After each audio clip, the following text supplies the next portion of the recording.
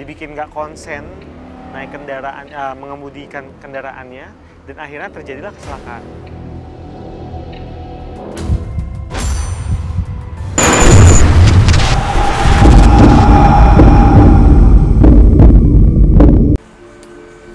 Hah, ini bisa masuk ya?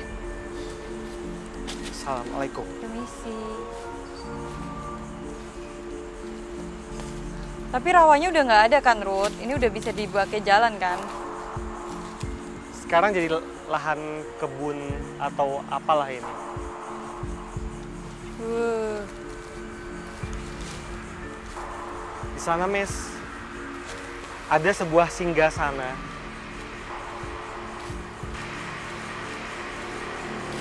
maksudnya rumah gitu. Jadi di situ tuh ada semacam altar. Altar itu ini altar. Mm-mm. Nah, di belakang altar tersebut itu ada sosok besar, laki-laki besar berotot. Hmm. Dia garang sekali. Tingginya itu sekitar 3 meter. Kulitnya itu warna kuning, Mes. Dan ada kayak bulu-bulu halus di tangannya. Dan dia juga pakai celana itu kayak celana Tarzan. Mm-mm. Badannya berotot. Kekar sekali. Dia nggak pakai alas kaki. Jarinya pun ada tiga, Mes. Ada Kayak tiga. ajudan gue yang tadi di depan itu. Betul. Ini nih rajanya dari si ajudan tadi. Dia rambutnya gondrong, keriting eh, ikal ya, ikal gitu segini rambutnya. Muka hidungnya besar lubang hidungnya. Terus kemudian dia ada eh, agak gingsul giginya. Dia duduk di sebuah kursi besar. Kursi itu warnanya silver dan ada warna merah di sandarannya. Iya, paham aku. Aku sangat bisa membayangkan sekarang. Terus sekarang ada di mana dia? Ada di sini. Ini boleh, Ini Ruth. hati-hati ya, karena dikhawatirkan barang-barang elektronik bisa rusak kalau deket dia. Jadi mungkin eh, dari jauh aja ya kamera ya. Yang jahil itu yang di ujung sana tuh, itu gede hitam. Ya kadang-kadang kalau lagi saya ngisi token itu suka keluar kayak gitu kan suka kaget jadinya. Kadang di samping sih nggak di depan cuma di samping kayak gitu. Kalau yang ini adalah pemimpin, pemimpin mereka. Oh, tapi kuat ya, Ruth ya? Kuat, Dia yang ngurung makhluk-makhluk yang tadi di dalam kayak akuarium itu. betul. Oh gitu. Nah, eh, sosok ini tuh ada hubungannya dengan bangkrutnya perusahaan air minum ini nggak? Ada ada ikut campur ulahnya dia nggak? Kamu kan bilang tadi ada satu orang yang jatuh tuh. Itu juga saya beberapa tragedi lah. Ya, memang beberapa tragedi ada yang disebabkan karena dia. Tapi kalau soal si pabrik ini tutup, ini bukan dari dia, Mes. Hmm. Kadangkala dia suka jalan ke arah sana, Mes. Dia dan beberapa ajudannya jalan ke arah sana. Mhm. Dan akhirnya bikin ulah kayaknya di sana. Apa contohnya Ruth ulah yang dia lakukan? Bikin orang jadi linglung, bikin orang jadi eh, hilang konsentrasi yang menyebabkan kecelakaan. Kenapa kenapa dia seperti itu Ruth? Mau menjadikan manusia itu budaknya atau Dia mau rohnya? dia tuh mau eh, menunjukkan eksistensi. Oh. Dia mau merasa, wah, nih ada saya di sini, saya hebat. Hmm. Iya ya paham paham. Ke mana lagi kita Ruth? Dia suka bolak-balik ke sana karena ajudannya tadi beberapa ada yang suka jalan ke sana juga. Ajudannya tuh ngikutin dia terus ya? Ada selain yang dua tadi itu ada lagi. Oh. Jadi mereka jalan ke arah sana. Oke. Berarti si Raja juga suka ke sana. Oke oke. Kami sekali lagi mengikuti ke mana perginya sosok sang pemimpin dan ajudan.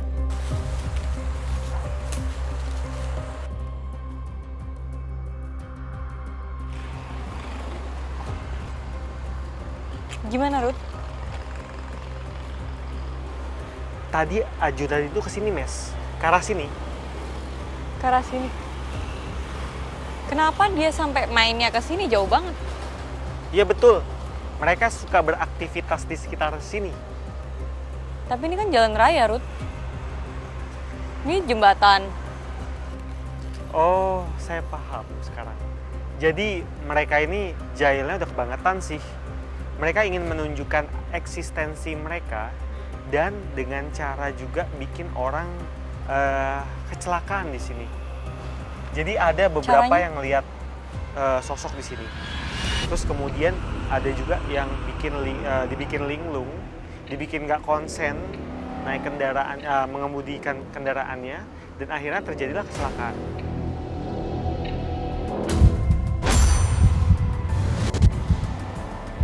Kamu bisa tahu nggak kejadiannya seperti apa?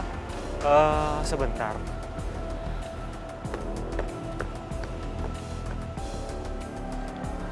Hah.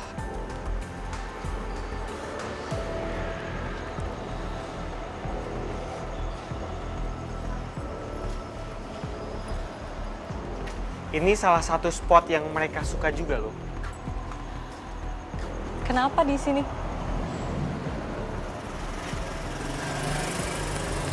Jadi di sini mereka juga berulah di sekitar sini yang menyebabkan orang-orang tuh linglung.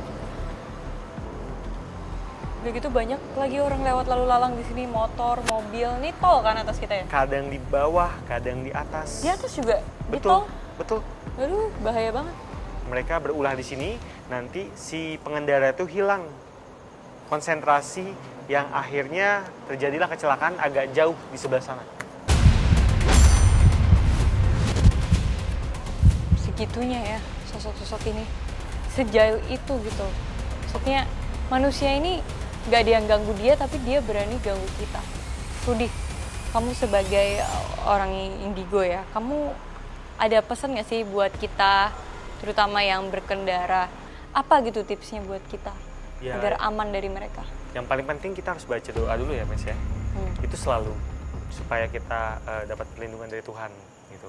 Yang kedua juga kalau misalnya lagi ngantuk itu jangan eh, paksain karena biasanya nih kalau orang lagi ngantuk suka ngeliat yang aneh-aneh.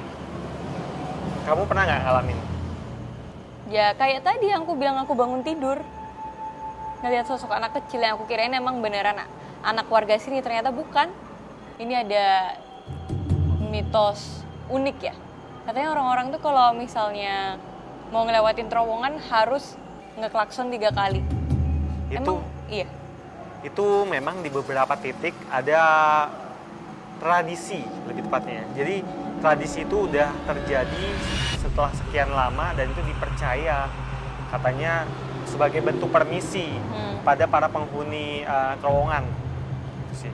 Tapi nggak, saya rasa nggak semuanya seperti itu, nggak semuanya harus seperti itu. Iya sih benar.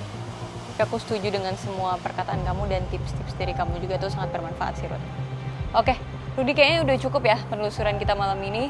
Dan menurut kamu titik lokasi uji beraninya di mana ya, Rud? Hmm, saya rasa di sebuah ruangan dekat ruangan kita bertemu dua ajudan itu. Karena di situ Dalam pabrik. auranya sangat ke- kental gitu kan, auranya terasa banget dan dua ajudan itu kemungkinan akan menampakkan diri Hmm. kalau si sahabat uji berani kita ini beruntung. Oke, kalau gitu.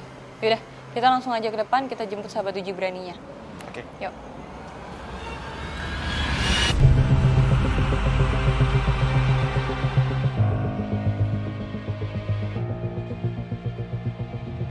Tengah-tengah? Kamu di sini. Ya. Oke. Pemirsa, sekarang saya sudah bersama dengan sahabat uji berani. Halo, siapa namanya? Eh, nama saya Indah Nur Fajria. Indah panggilannya. Iya, Usianya berapa? 20 tahun. 20 tahun. Iya. Apa motivasi kamu ikutan uji berani malam ini? Untuk melatih diri saya supaya lebih berani dalam kegelapan. Oh, jadi sebelumnya takut gelap ya? Iya. Indah, setelah ini kita akan pasangkan kamu perlengkapan sebelum kamu memasuki titik lokasi uji berani. Baik. Ikutin saya.